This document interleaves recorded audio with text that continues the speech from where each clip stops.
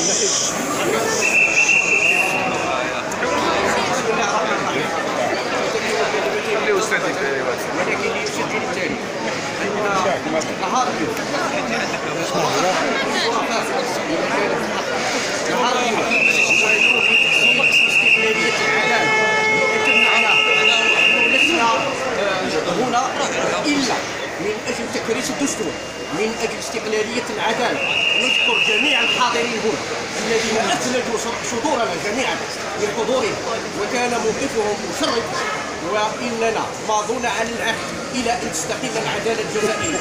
وشكرا. برافو.